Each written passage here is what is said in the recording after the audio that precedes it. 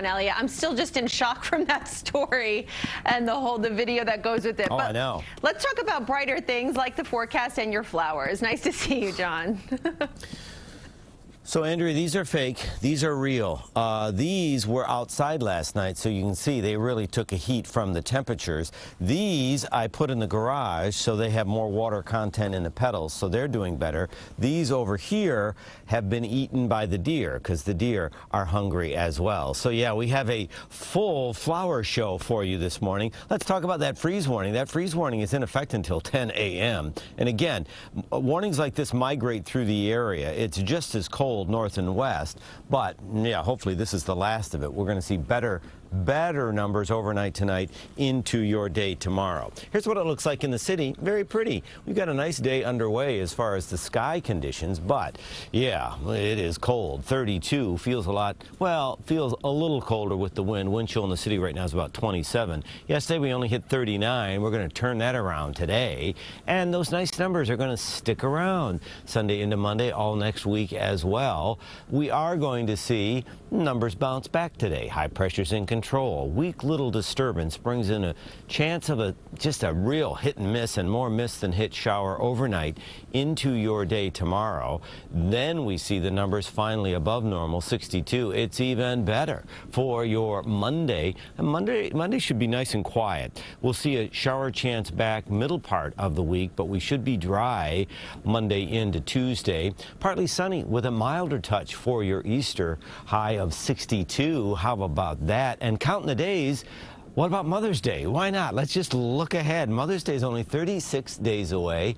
Dad's Day, 78, and summer begins right there. That's the perfect gift for Father's Day. Next few days, remember, increasing clouds overnight tonight with a stray shower possible. I don't think it's going to be widespread. Monday, pick of the week, but some nice days as far as the numbers go all week, but we do wrap up Thursday into Friday with a chance of showers. So tomorrow's Easter, but tomorrow's also World Rat Day, a day designed to celebrate rats. A lot of folks have rats as pets. Rats make wonderful pets because they're incredibly, incredibly sweet. They give kisses. Who doesn't love kisses? Yeah. I just kissed a rat. They're basically like a little puppy dog. So if you love dogs, you would love rats. Funny little rat is going to be very, very affectionate towards you with proper handling and proper care. How intelligent are rats? Rats are actually one of the most intelligent little pets you're going to find. Way more intelligent than your average pocket pet, say a guinea pig or a rabbit. These guys can learn a plethora of different words, phrases, commands, tricks, and other things like that. Rats can problem solve, and they can learn basketball. What? Yeah, I swear, they can learn basketball. Colleges do it all the time. They train rats how to play basketball. Yep. So it's a whole different kind of March Madness. Yes. rats like to be together, don't they? Yes, very much. They love companions. We humans are not enough for them.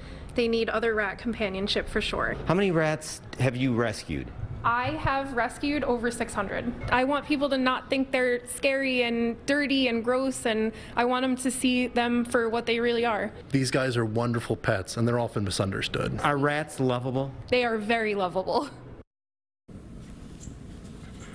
So if you want to check out Mel's Misfit Creature Rescue, you can find her on Facebook and Instagram. And I got to tell you, speaking with Ryan at NJ Exotic Pets, their business has been booming through the pandemic. So they're going to have a big brand new store opening up later this spring. But I know rats might skeeve you out, but I kissed a rat and it was very sweet. So enjoy World Rat Day tomorrow. Andrea, are you, uh, is your skin crawling? It is, and I'm thinking of all of the rats I see in the subways and they gross me out. But what I love about you, John, is I've learned so much about rats that I didn't know in just that two minutes of your piece. So thank you.